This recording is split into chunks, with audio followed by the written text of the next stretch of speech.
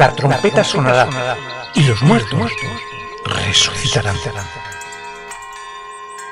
Indiscutible obra maestra de la cultura occidental, el monumental oratorio El Mesías del sajón de Halle, Georg Friedrich Händel, se disputa el privilegiado puesto number one de los 40 principales de la historia de la música.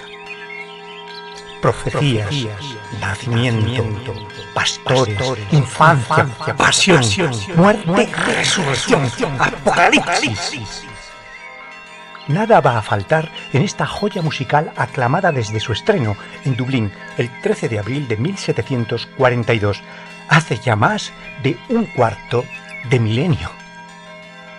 Una obra espléndida, cuyo éxito quizás radique en su experiencia previa como autor de prestigiosas óperas en la capital londinense, así como en la conjunción de dos ingredientes complementarios. Los musicales citados de la mano del propio Händel y los literarios de la inteligente combinación de pasajes bíblicos y otros extraídos del libro de oraciones ordinario propuesta por su libretista, Charles Jennens. El resultado se sitúa así a caballo entre lo más ferviente o devoto y lo más docto o teológico, entre lo emotivo y lo doctrinal, entre lo artificioso, retórico o sublime y lo natural, o campechano incluso.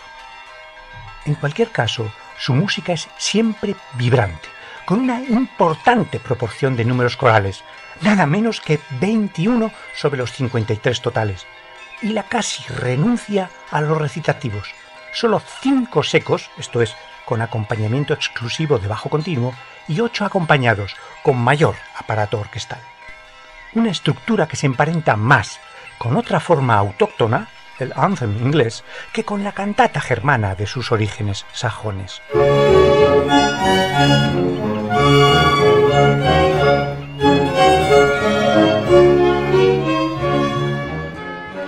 Se dice entre exclamaciones algo incrédulas que este imponente oratorio fue compuesto un año antes del estreno en su casa de Londres en tan solo tres semanas. Pero mucho me temo que, calculadora en mano, a poco que se divida el número de miles y miles de notas, de letras e indicaciones escritas en el original, entre el de días, de 21 a 24 según la fuente, saldría un ratio, y suponiendo que no durmiera, ¿qué digo por día? Por hora, estremecedor. Y además con serios problemas de vista, por cierto. Ni el Félix de los Ingenios, nuestro Lope de Vega, que no fue manco precisamente, le igualaría. Pero tampoco sería el primero, ni a buen seguro será el último, en fabular acerca de proezas de circo y genialidad, que todo ayuda.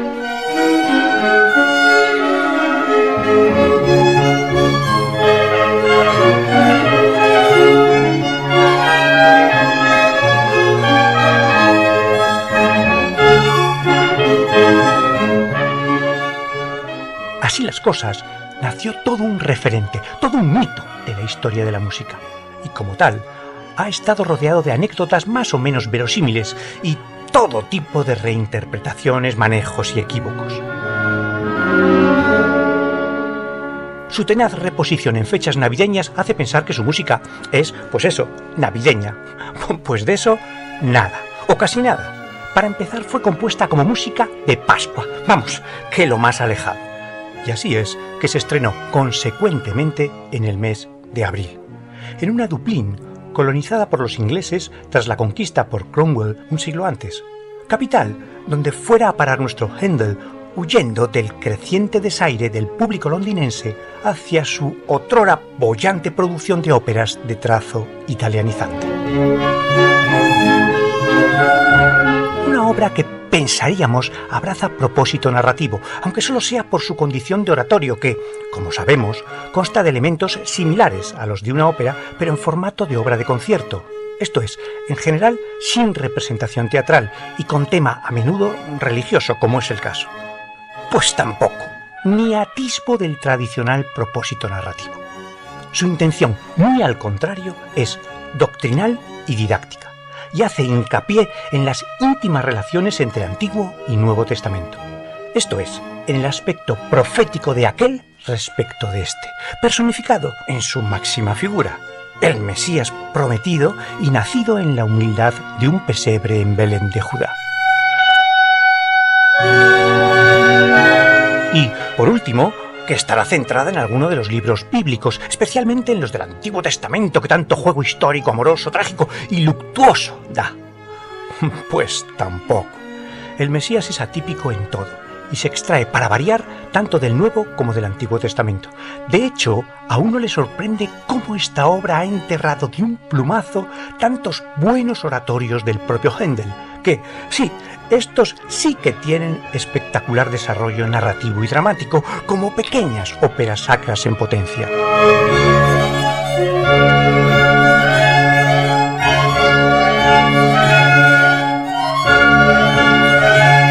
La vida de la obra se antoja ya independiente del propio autor, y la sombra alargada de El Mesías se ha proyectado durante siglos como forma de culto musical o religioso en lugares y pompas de lo más impensable. Mozart mismo, gran admirador de Händel, terció en la reorquestación de esta obra, poniendo al día su instrumentación con trompas y sobre todo con los recientes y magníficos clarinetes.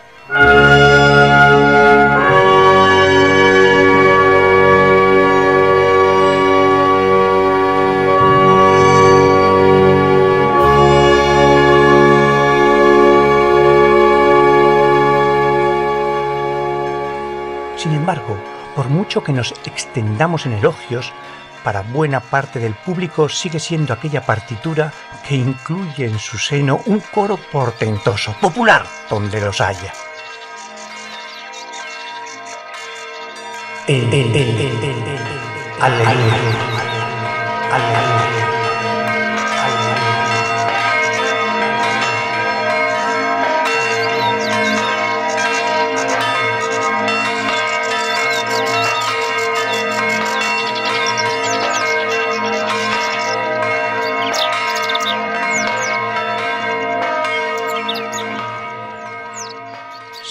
En tono de leyenda que al componer este coro apocalíptico que glorifica la segunda venida del Cristo triunfante, el propio Händel llegó a afirmar entusiasmado entre lágrimas y mal comido que había visto al mismo Dios en los cielos.